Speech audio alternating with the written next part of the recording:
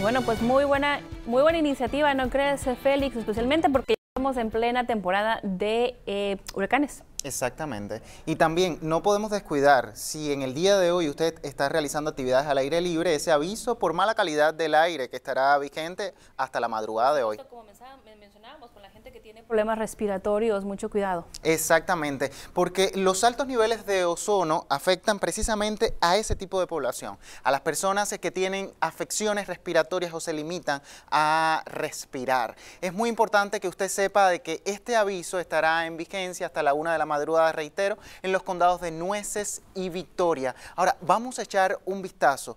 Estos niveles de concentración son moderados. Usted no tiene limitado el realizar actividades al aire libre, pero definitivamente debe reducir el uso de su vehículo para que estos niveles de concentración no aumenten en los próximos días, porque de estar en niveles no saludables o insalubles, ya usted no va a poder salir de casa. Así que estaremos también monitoreando muy de cerca esta situación.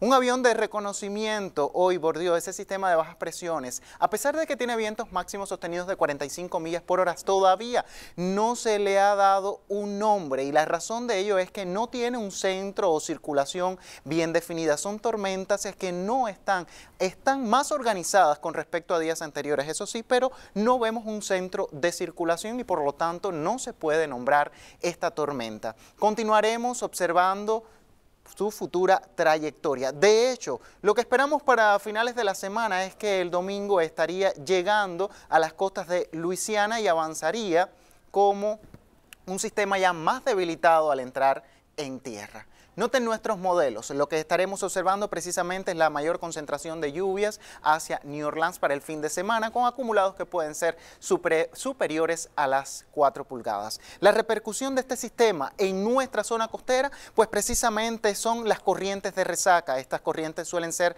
muy peligrosas. Si este fin de semana usted entra en una corriente de resaca, nunca nada en contra de la misma, nada paralelo a la zona costera. Si no puede escapar, manténgase a flote y pida ayuda. Es lo más recomendable en estos casos. Ahora, en cuanto al pronóstico para este fin de semana, vamos a tener temperaturas que van a estar ligeramente por encima de esos 92 grados que es lo normal para esta época del año. ¿Cuándo pudiéramos ver la actividad de algunas tormentas? El martes tendremos la entrada de un frente frío que hará que en nuestra zona caigan algunas precipitaciones y la temperatura tienda a disminuir en los 93 grados, pero el tiempo mejorará para mediados de la próxima semana.